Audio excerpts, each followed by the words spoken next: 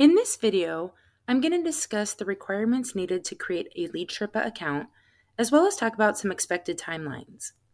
Lead Sherpa is the most compliant SMS software on the market. We are constantly updating our software to meet the ever changing requirements of the TCPA and other governing bodies that oversee text messaging. Because of this, there are a few requirements our customers need to meet prior to signing up for a texting subscription with Lead Sherpa. You will need an employer identification number, legal company name, DBA or brand name, website or link to other social media presence, physical business street address, city, state, zip code. You also need the first name, last name, email, and phone number of the authorized representative listed on your EIN. So let's talk about how to get this information if you don't already have it. The first thing you need is an IRS Employer Identification Number or an EIN. As an established business, you probably already have an EIN. But if you don't, you can apply for one at www.irs.gov. I've included the full link at the top of the screen. Make sure to wait at least five business days after applying for an EIN to complete your Lead Sherpa registration. It does take about five days for the IRS to process the application and get your EIN registered. Once you've registered for an EIN, or if you already have one, you will want to make sure to submit the information exactly as it appears on your EIN confirmation letter. If you don't have this letter, make sure to use the information you used when you last filed your tax return. The next thing you will need is a company website or another social media platform like Facebook, LinkedIn, YouTube, something like that, that reflects your use case. To use Lead Sherpa, your use case would be real estate, so your platform would need to be related to this. This is a newer requirement for 10DLC registration. So if you don't have any real estate social media presence, please create one prior to completing the registration process with Lead Sherpa.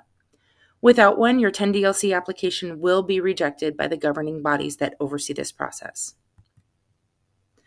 Once you have an EIN and company website or other social media presence, the next step will be to sign up for an account. To do this, just go to leadsherpa.com, click on one of the Start Texting Now buttons, and then you just need to fill out the forms with your contact and billing information. Once you've created an SMS account with Lead Sherpa, you will be prompted to fill out the 10DLC registration form. This is where it is extremely important to put the information in exactly as it is filed with the IRS. Otherwise, it will be rejected by the campaign registry. If your application is rejected for any reason, you will immediately get a rejection notification. At this time, you can reach out to support at leadsherpa.com for assistance. But please make sure to have your EIN confirmation letter handy. If the information provided by you does not match what the IRS has on file, you will be charged the $4 fee by the campaign registry for every subsequent attempt. Please note that it could take up to 72 hours for approval, but we usually see this immediately.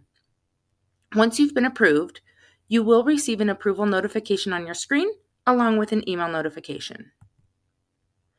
Once your 10DLC registration has been verified, there are a few steps to getting your account ready for use. As soon as you log into your new Lead Sherpa account, you will be prompted to complete these steps. They are in order in which they should be completed for best results. I cover each of these steps in detail in our best practices for setting up a Lead Sherpa account video.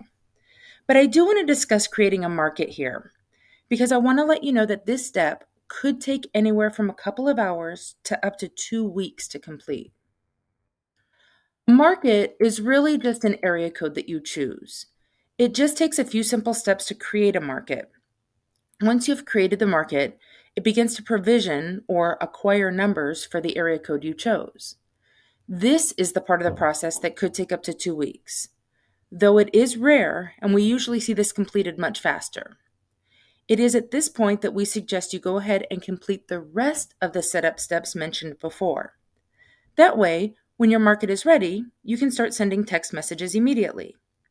You will be notified once the market has acquired numbers and is healthy or ready to use. This provisioning stage is completed by external entities and we will need to wait for them to complete their process before you're able to use your market.